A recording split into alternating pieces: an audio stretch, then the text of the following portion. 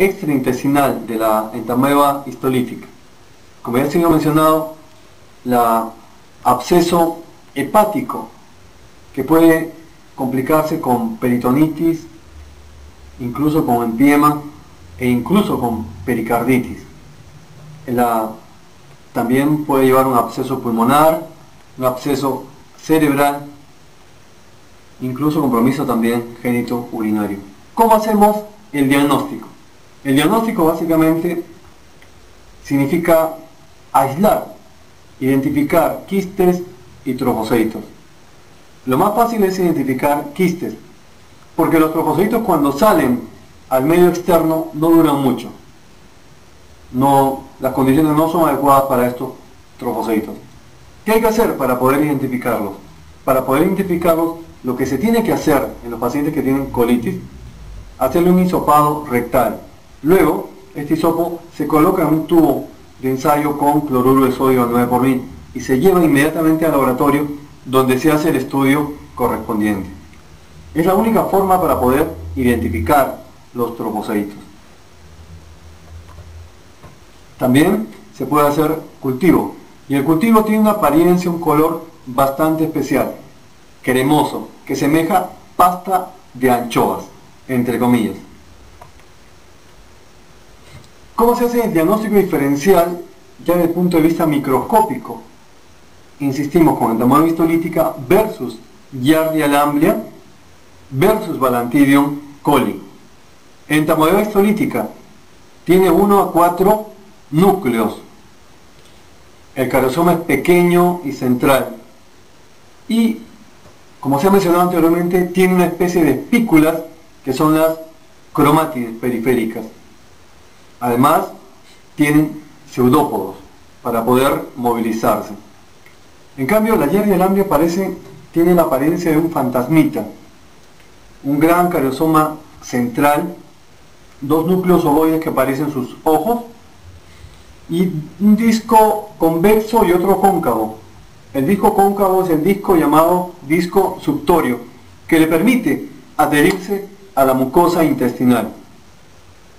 Y además destaca el flagelo que le da movilidad. Balantidium coli, en cambio, tiene el cuerpo rodeado de cilios.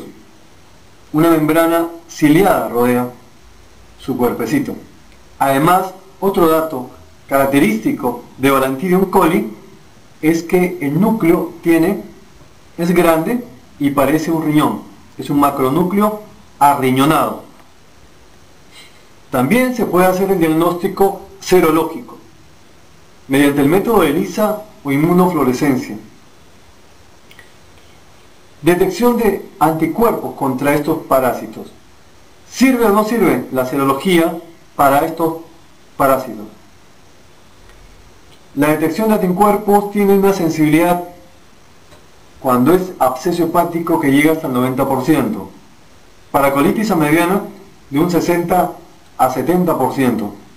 Y en los pacientes sintomáticos, como estamos viendo, no sirve la detección serológica de anticuerpos contra estos parásitos.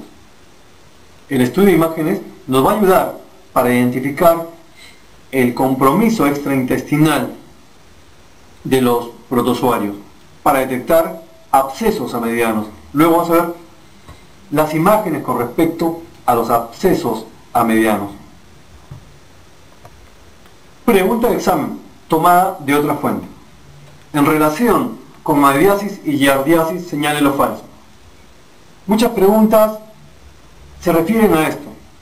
Comparar a mediasis y giardiasis. Diferenciar a mediasis y giardiasis. Y este es el estilo de la pregunta. Señale lo falso. Ambos son protozoarios intestinales verdadero. Ambos presentan la forma de trofoceitos y quistes. Sin duda, verdadero. Ambos producen enzimas proteolíticas. Podría ser. Ambos estimulan la producción de inmunoglobulina A. Podría ser.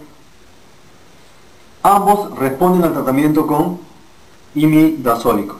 La respuesta en este caso es la C ambos producen enzimas proteolíticas, no, eso es falso.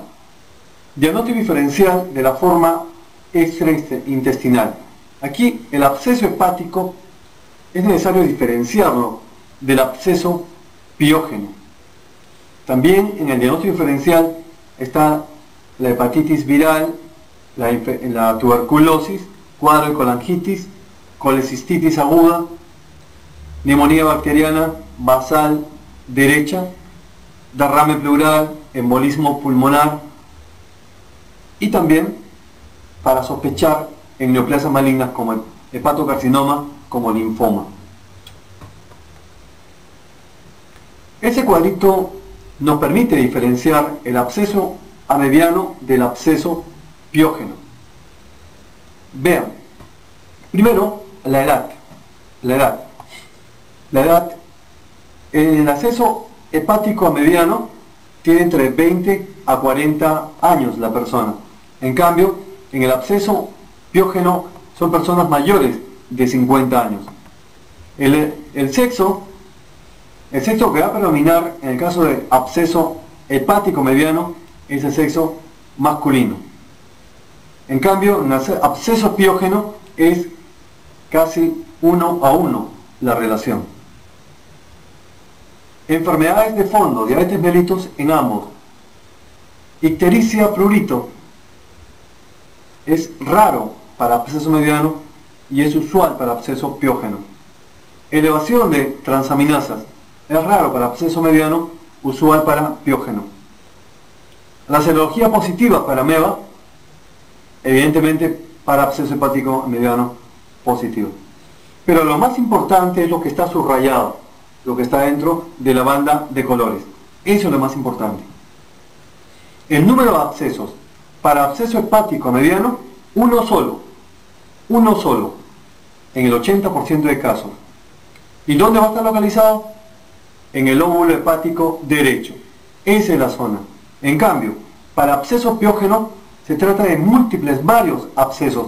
Vamos a ver en la tomografía imágenes radiolúcidas, perdón, imágenes hipodensas, de bordes más o menos regulares. Y el absceso piógeno se va a localizar más del lado izquierdo, del lóbulo hepático izquierdo. A pesar que es una masa, el absceso hepático es una masa, la masa intrahepática por lo general no produce ictericia significativa, a no ser que esté comprometiendo una vía hepática principal. Y aquí se cumple, en el caso absceso piógeno, como son múltiples abscesos, hay más chance para que produzca ictericia intrahepática directa. Vean las imágenes tomográficas. De un lado un solo, un solo absceso, una imagen hipodensa de bordes más o menos regulares del lado derecho del hígado. En cambio, el absceso piógeno se trata de varios abscesos, varias imágenes hipodensas, múltiples imágenes con predominio del lado izquierdo. ¿Cuál es el tratamiento? Supongamos que el paciente llega a la consulta en el verano para pedir el famoso chequeo médico del verano. Y como parte del chequeo médico se le hace examen parasitológico de heces, donde se encuentra quistes de entamoeba histolítica. La pregunta es, ¿se le da o no se le da tratamiento? Y la respuesta es, sí se le da tratamiento. ¿Pero daremos tratamiento con metronidazol? No. ¿Cuál es el fármaco que vamos a utilizar? Es paramomicina. Ese es la, el tratamiento de elección si el paciente es asintomático. En cambio, si el paciente está viniendo por diarrea crónica, dolor abdominal, baja de peso y tiene el factor de riesgo para contaminación fecal oral, en ese caso, y se identifica quistes en el examen de heces, examen parasitológico, ¿cuál es el tratamiento? metronidazol. La dosis, 750 miligramos tres veces por día durante 10 días. Ese es el, tratamiento. Para las formas extraintestinales, también la misma dosis, metronidazol, 750 miligramos, tres veces por día durante 10 días. Y hay que utilizar la vía endovenosa.